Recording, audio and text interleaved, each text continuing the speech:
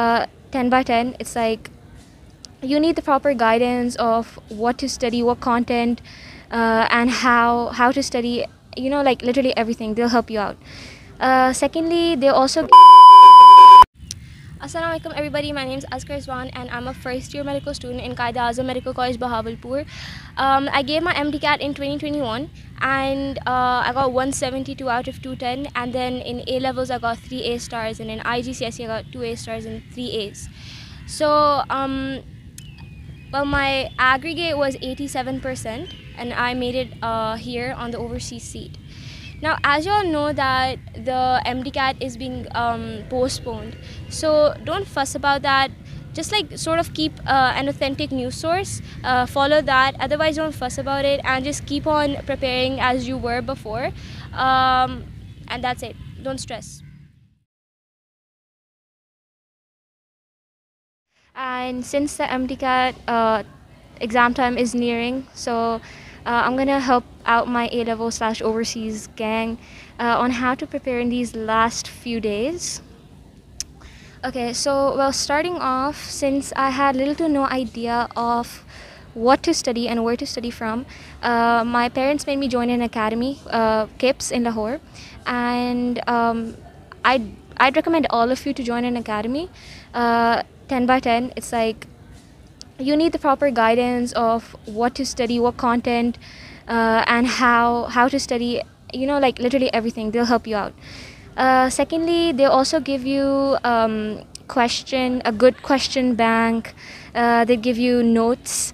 Uh, and like the academy I joined, they had an online uh, portal where they uploaded video lectures and um, questions and content and all that stuff. So definitely do join an academy.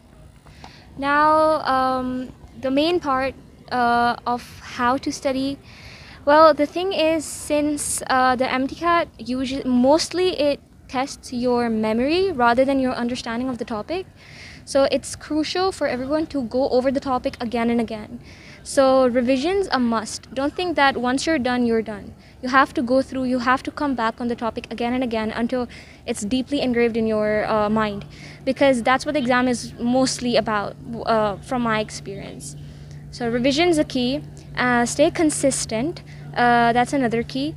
Um, because if you lose your rhythm, you're just gonna start forgetting stuff. Spaced repetition, do that, make flashcards. Basically, note down everything in a place where you could quickly go and uh, revise your information. That's extremely important. Um, so the exam is really near, so my suggestion is to obviously go through the topics again, right? Revision do question uh, solve questions extremely important if you're done in these last few days solve questions very very important okay now comes the exam day right on the exam day what i did was in the morning i woke up had a good night's sleep woke up had a good breakfast and um, went to the exam center with an easy mind you need that you don't need to stress what's done is done. Whatever's written in your fate will happen. If you've given your 100%, then just leave it all to God. You're, you're gonna do fine. It's not that hard. You're, you're gonna do fine if you studied. And um, yeah, good luck. Uh, sleep well, eat well, nutritious food, very important. And uh, just make loads of loads of duas for uh, dua for yourself. And I'll be doing that too. Um, and yeah, I'm hoping to see some of y'all next year with me. Until then, goodbye. Thank you so much M से related आपके जो भी सवाल हैं आप वो comment section में पूछ सकते हैं आई होप ये वीडियो आपके लिए हेल्पफुल रही होगी। चैनल को सब्सक्राइब करके वीडियो को लाइक कर दें और इसे अपने एमडिकेट फेलोज के साथ भी लाजमी शेयर करें।